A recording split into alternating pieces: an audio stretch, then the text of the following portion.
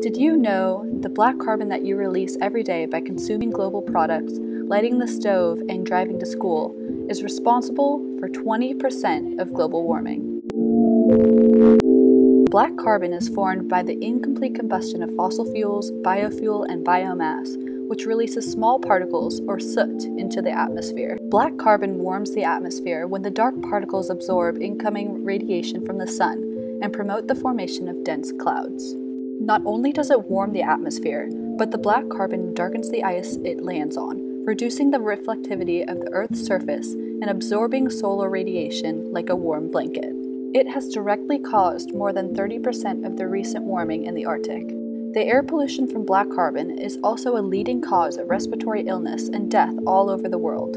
It's a small type of particulate matter called PM2.5 which gives it easy access to, into lungs and bloodstreams, causing around 3.2 million premature deaths from ambient outdoor air pollution annually. As well as the terrible health and environmental effects, it also makes a dent in the economy.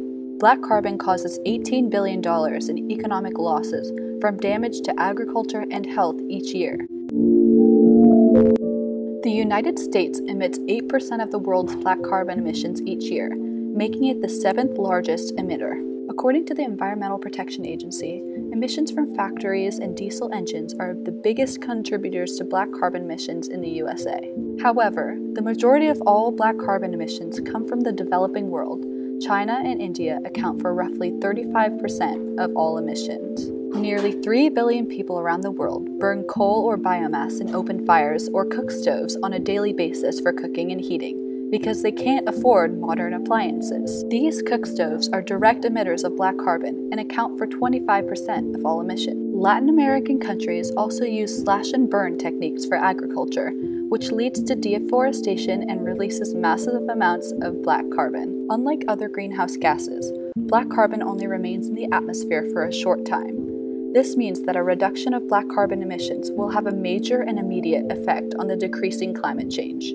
We must act now. You can contribute to reducing black carbon at home too, by buying local and being aware of products like palm oil that account for the majority of deforestation from agriculture in developing countries. If we bring new and improved cook stoves to the developing world, we could reduce emissions by 50 to 90%. Donating to the nonprofit Global Alliance for Clean Cook Stoves can directly help this change happen. You can also reduce your use of diesel by driving less and using other modes of transportation, or supporting the legislation to increase air quality regulations in the US. Change begins with you, so start saving the earth by protecting it from black carbon.